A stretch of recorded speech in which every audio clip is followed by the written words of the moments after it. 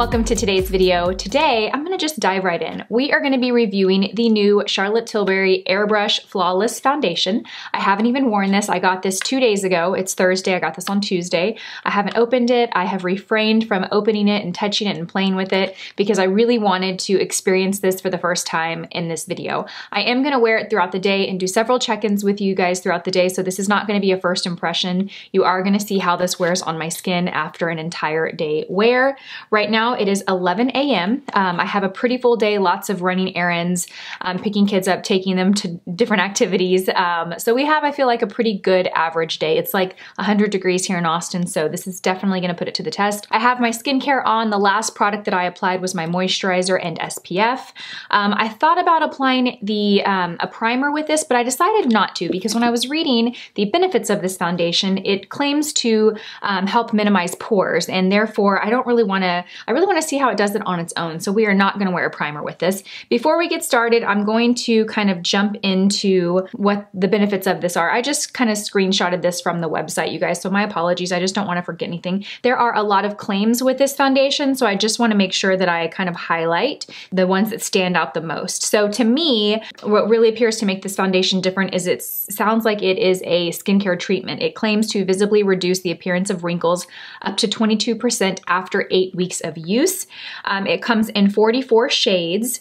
Uh, it has Magic Replexium to significantly reduce the appearance of wrinkles and Moss Cell Tech 1 to boost hydration by up to 216% and Air Cool for an instant fresh feel on the skin. So all of those things sound fantastic. I mean, who doesn't want hydrated skin, less wrinkles, and um, a fresh feel on the skin? It's supposed to be a very lightweight, uh, natural matte finish is what it's described as. So it claims to be an all-day weightless full coverage formula that has a natural matte finish. I mean, all of this sound like my perfect foundation. Um, it also says a flawless, poreless look, which if you guys hear me ever complain about anything about my skin, it is the size of my pores here. So we're gonna go ahead and dive right in. I picked up the shade 5 Neutral, and you can see I haven't even opened it. It is still taped closed, so let's go ahead and open it.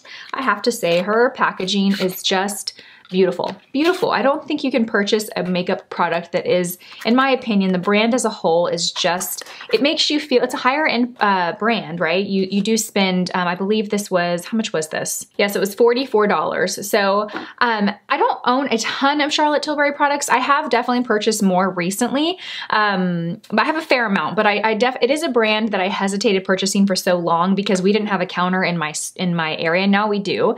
And it was, it was at that price point that I just didn't feel comfortable spending the money on without being able to test it and feel it first.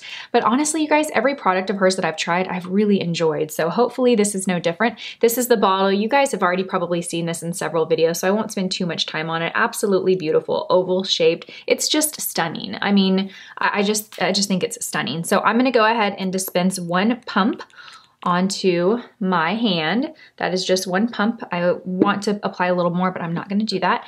And I'm actually gonna apply it two ways. I'm gonna apply it with a beauty blender on one side and then a brush on the other. So the texture of it does feel very lightweight. For being a full coverage, it feels like almost like a serum foundation in my opinion.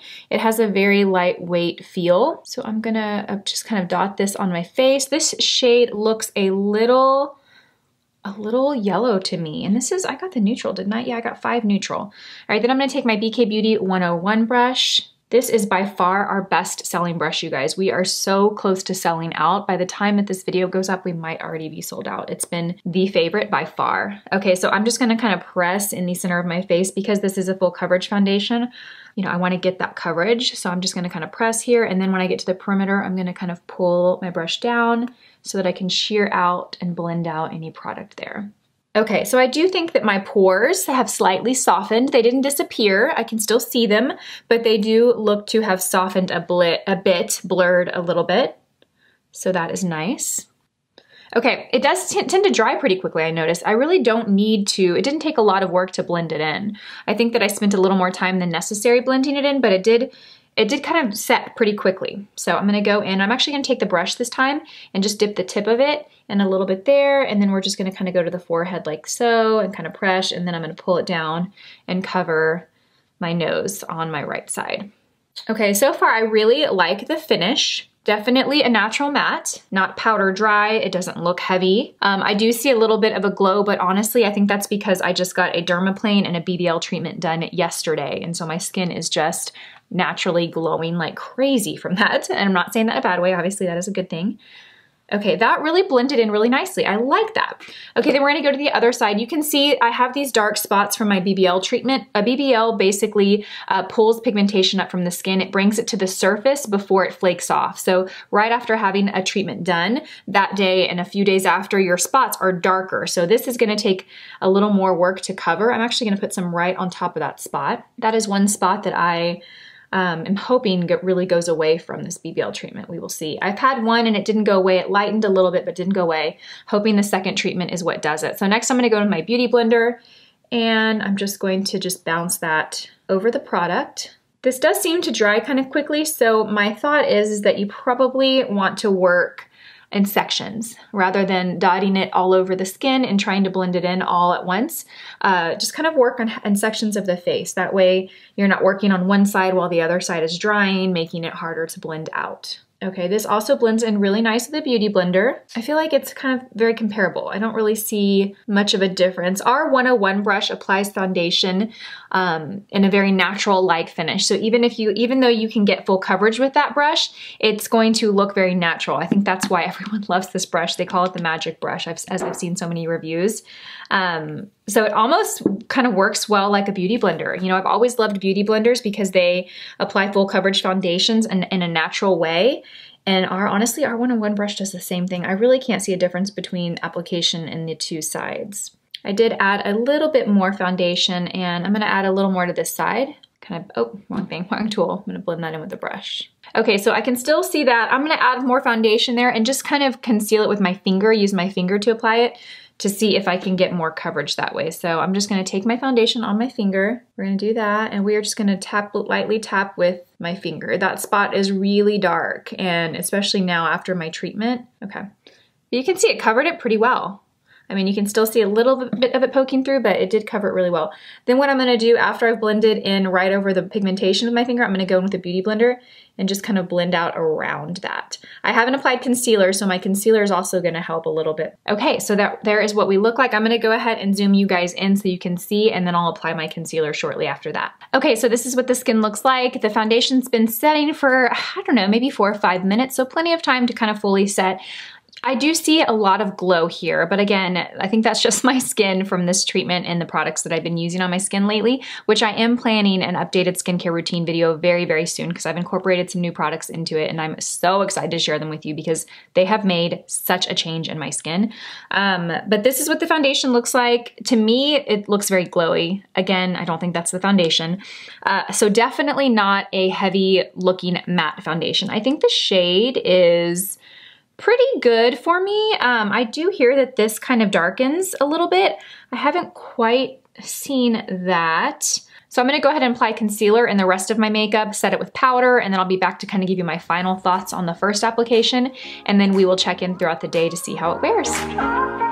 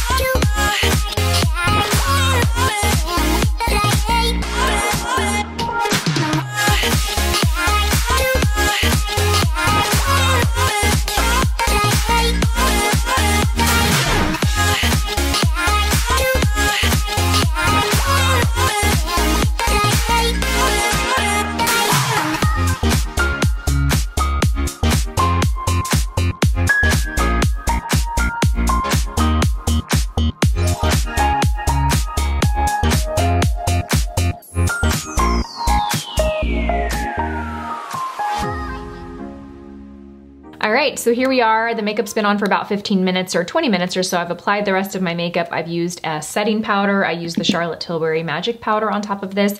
I even applied a cream blush on top of that. Um, it has oxidized or turned a little bit darker on my skin than it was when I first applied it. The finish to me looks like a full coverage foundation. I wouldn't say that it looks really natural. It doesn't really look natural to me, but it doesn't look heavy either. Um, I do like it at this point. It definitely is a foundation. Knowing what I know about it at this point, it's a foundation that I probably wouldn't wear every single day, but it would be a foundation that I wear when I'm wearing a bit more makeup and I want my makeup to, well, I shouldn't say to last all day because I have no idea how it's gonna last on me. That's what this video is for. But this wouldn't be a foundation that I'd probably reach for on the days that I want something natural and light looking because it doesn't really quite give that look. Um, as far as it being poreless looking, I, I, don't know that I can say that. At first I thought that maybe it was smoothing out my pores, but as I've applied the rest of my makeup, they kind of look like they normally do. So it is 11:45 now, 11:47. Um, I have lots of errands to run. I'm gonna be checking with you guys today, so we will recap at the end of the day and see how this looks. Hey guys, it is about 3.45. I'm getting ready to take the take one of my little ones to gymnastics, but I wanted to pop on and give you guys an update on the foundation. So I'm standing in front of a window, natural light. I don't have any lights on in the room. I don't have any ring lights or anything like that in front of me. Um, so I just took a peek in the mirror um, to just kind of evaluate the situation. I haven't touched up at all. So I haven't set with any powders or done anything since I uh, filmed this morning at 11. I've been outside running errands just back and forth from my car, but it's very, very hot. So even walking out to your car, you get pretty hot. Uh, to me, this does not look like a, a, a, matte foundation, a natural matte foundation. There is a lot of glow, but again, I think that's my skin and the skincare products I've been using. I think my skin is just exceptionally glowy right now because I had the dermaplane yesterday and I think that's what we're seeing. Like I said, it still looks, it looks very similar to how it did earlier. I don't really feel the need to touch up. There is a little bit around the nose here that looks to be um, kind of fading, but otherwise it looks really good. Um, I would say that this is a good makeup day. I like the way that the um, blush, I was wearing a cream blush and it still looks really, really nice on the skin.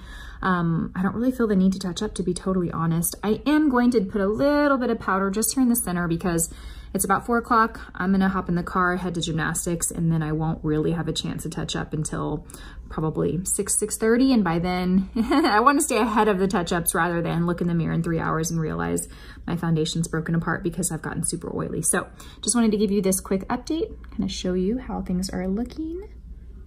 Yep, yep. My eyes are so red, allergies today. Allergies are so bad. But anyway, I will be back in a few hours. I am actually getting ready to go on a kind of a spontaneous little mom's night out that our neighborhood has like a monthly mom's meetup and I haven't been in like a year. So I um, thought I would go. So I wanted to show you the makeup before I head out. It is um, about 7.30 and this is what my makeup looks like. I did just touch up with powder and I have my um, Riki Tall mirror with my lights on. I have it on the brightest setting, I think. There we go, that's a little brighter. Um, and I wanted to show you as I'm looking. So um, the foundation is definitely settling into my pores here. I can see that. And then it also is like gathering around my nose. Do you see that right there? It's also kind of just, it's just kind of settling in my pores. Like I can see, do you see that? It's kind of hard to tell there, but I can clearly see where it is settling in pores or texture in my skin. It doesn't really look terrible. It doesn't look bad, but there is that happening. And how long has it been? It's been eight hours, a little over eight hours. So not sure how I feel about that. Um, I mean, it looks good enough. I'm going to go out. I'm not going to redo my foundation. I'm going to leave it as is, but um, I think I'm a little kind of disappointed with how it looks at this point. So I will um, check in with you guys in just a bit and that'll be my last check-in for the night. Hey friends. So it is about 10:15 p.m. So I've had the foundation on for about 11 hours now. Um, I ended up going out tonight. There was a neighborhood moms meetup and it's like they do these monthly and I've missed the last 12. so terrible. And uh, so I ended up going last minute to this and I ended up touching my, up my makeup. I put on um, a little bit of the ColourPop pressed powder. I kind of just touched up the foundation, but I did not add anything aside from that. So all in all, I touched up today twice. Um, and I wanted to give you guys kind of a recap of how we look. My eyes are so red. How my allergies today on top of dry eye and having a glass of wine. I'm so dehydrated. It's just, my eyes are a little dry and red. But um, I wanted to recap you guys. I did just look in the mirror. So all in all, my thoughts on this foundation on how it performed today Keep in mind, I did not use a primer and I did not use a setting spray. Um, it's a good foundation. I'm not completely blown away with it. Um, the cons are that I found it to settle in my pores a little bit around the eight hour mark, settled, settled in my pores, settled around my nose. Um, I wouldn't say it looked the most natural, but it definitely didn't look heavy or cakey or anything. All in all, it's a good foundation. I would recommend this foundation. I do think I need to play with it a little more, bit more. I'm very interested to see how it wears with an actual primer and a setting spray because I think that that will really help the longevity and also help with the um, way that it wears on pores. So that is my review. I think all overall, I probably had higher expectations for it, I guess. I kind of expected it to just be perfect all day long, but you know what? I live in Texas. It was 102 degrees today, so what can I expect? But I think it looks good. Do you guys think it looks good? I think it looks good. I would probably give this foundation a 7.5 out of 10. That's what I would give it. But anyhow, thank you guys so much for watching. As always, I will see you all in my next one. Bye-bye. Hey friends, I wanted to pop on one more time because I realized after filming that video that I filmed a day after I had a dermaplane facial and BBL treatment done to my face, which can kind of alter the skin a little bit. So I wanted to give it one more try um, and kind of film at the end of the day. It is about 5.30 right now. This has been on since about 8.30 a.m. I have touched up a couple of times. I have to say that in the areas that I wore my sunglasses, you can see that it's kind of gathered there.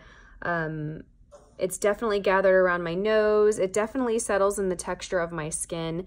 Um, it's definitely moved on my nose. You can see spots that it's kind of faded and just kind of settled. Around here you can see that it's faded there. Um, it looks pretty shiny. I have touched up a couple of times today, but I just wanted to kind of give it one more try because I don't know, your skin can be very, very different after dermaplane facial. You know, you have no hair on the skin pretty much. So it can kind of tweak the way foundations wear. So here we are. It's been about a full week since my dermaplane facial and I, I just wanted to give it one last shot. But I think all in all, I have to say that um, this is not gonna fall in a uh, top foundation for myself. Again, foundations are so personal, right? Just because it doesn't work for me doesn't mean that this wouldn't be a fantastic foundation for you. But this is my personal experience. This is not one that I think, um, not one really I think that impressed me too much. So anyway, that is all for this video. I hope you guys have a fantastic day and I will see you all in my next one. Bye-bye.